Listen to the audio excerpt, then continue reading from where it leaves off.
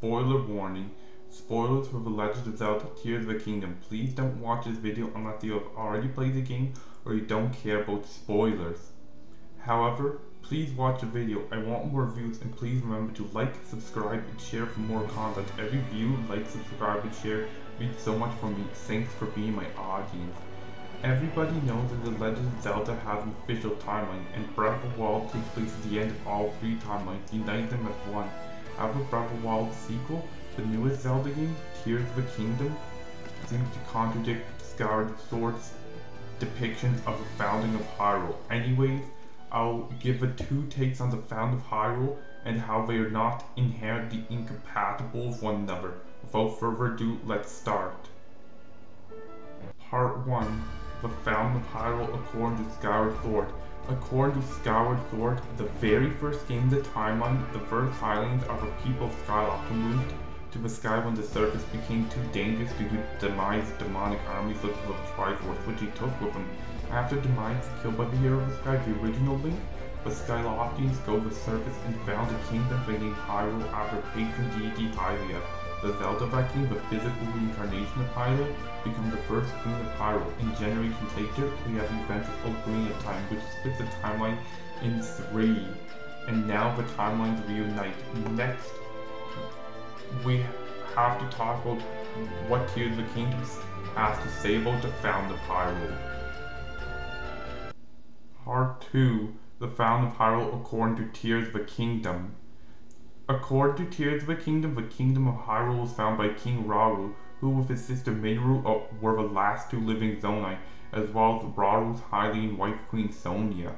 Not much is known about what happened before Hyrule was founded, but after it faced a crisis, but shortly after it was founded, it faced a crisis known as Imprisoning War, which was kicked into motion by Ganondorf Dragmire, a Gerudo chieftain, murdering Queen Sonia and stealing her secret stone. We have two different stories for how Hyrule was founded, but they are not completely incompatible, as there is another game that establishes that in at least one timeline before Tears of the Kingdom, Hyrule had two different foundings at different times.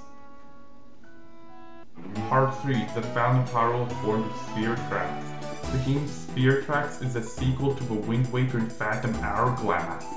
First, we will need to explain why Wind Waker is important to the series. Wind Waker takes place in the Adult timeline, the timeline where after Ganondorf got Ganon banned at the end of Ocarina of Time, where Zelda stayed while sending into the Child timeline to make up for missing out on his teenage years.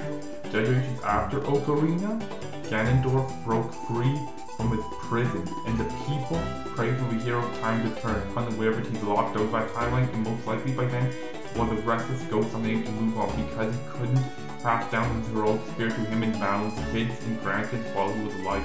It didn't matter that he beat Ganondorf twice. It didn't matter he found a new village. He was a studentless teacher. That was until his direct descendant the hero, Twilight, took up the blade to protect the other Ordon village kids. However, in the adult timeline, the Hylians prayed and prayed to return the hero of time, but nobody came. The gods had to flood Hyrule in order to imprison Ganon for more time, but even then he broke three generations after Hyrule sunk. The people lived on the Great Sea, but during the finale of Wind Waker, the King of Red Lions actually resurrected the spirit of King Daphnes, the last king of that incarnation of Hyrule in that timeline, allowed the kingdom to be flooded. So Link, the hero of Wind, the first hero of that timeline, Tetra, his last living descendant, can find a future unburned by literal ancient history. After the event of Phantom Hourglass, Tetra and their crew discovered a large landmass, and there Tetra found the kingdom she named Hyrule after now flooded ancestral homeland. That incarnation of Hyrule is the location of Spirit Tracks, and that proves that Hyrule can have multiple incarnations, one found centuries after the previous Hyrule fell. Now part in part 4 of this video I explain how the, the Skyward Sword and Tears of the Kingdom versions of the Found of Hyrule are not incompatible. Okay, here's how all three timelines become one. In each timeline, after the events of each game in those in, of the last game in those timelines, Hyrule falls and is forgotten by the descendants of its inhabitants, except for myths and legends.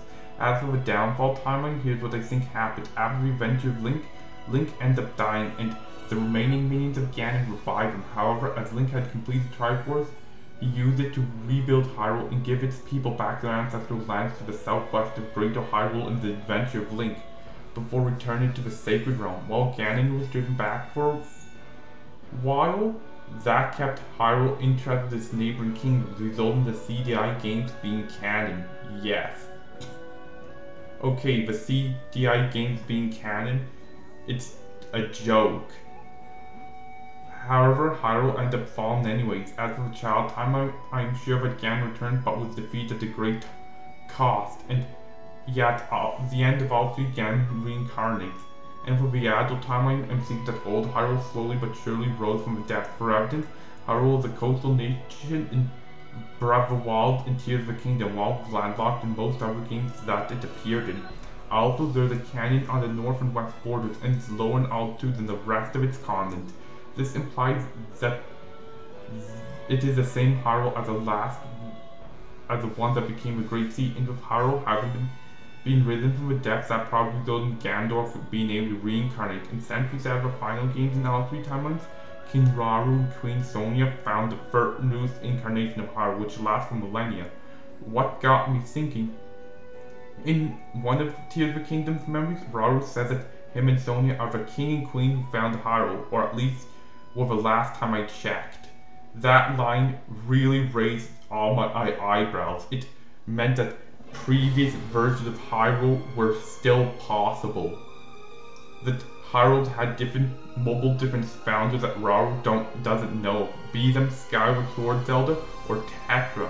That one line means that Tears of the Kingdom does not wreck immediately invalidate the entirety of the Zelda timeline. In conclusion, Tears of the Kingdom does not retcon the timeline. It still allows it to be possible for its backstory to exist at the end of all three timeline branches. So what do you think? Is this theory brilliant or bogus? If you disagree with me, leave what you think the Zelda timeline looks like in the comment section below. Anyways, please remember to like, subscribe, and share for more content. Every view means a world to me. Tyson out and, and thanks for watching.